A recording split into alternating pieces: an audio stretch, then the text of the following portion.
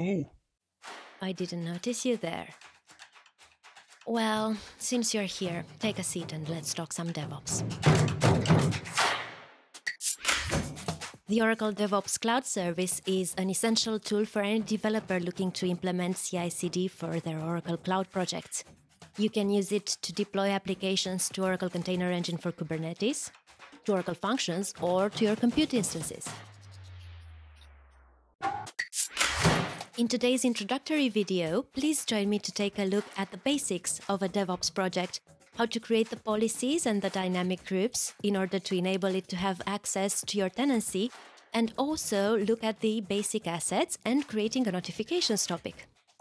Let's take a look at the policies and the dynamic groups.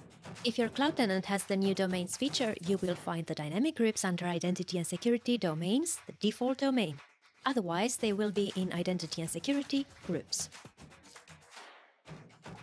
A dynamic group is defined by the type of resource and its compartment ID. Dynamic groups will allow our resources to act like principals and be able to use other tenancy objects that are needed. In order to create the policies, we need to navigate to identity and security policies and start typing up our policy or adding it to an existing one. How do you create a project? In order to publish, build, and deployment notification messages, we need first to create a topic. And we just give it a name. And then we can move on to the project creation. In order to create a new project, we must first make sure it's in the right compartment.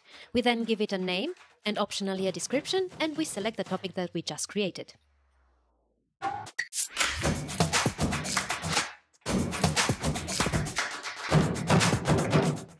After we create the project, we also need to enable logging as it is required to build and deploy pipelines.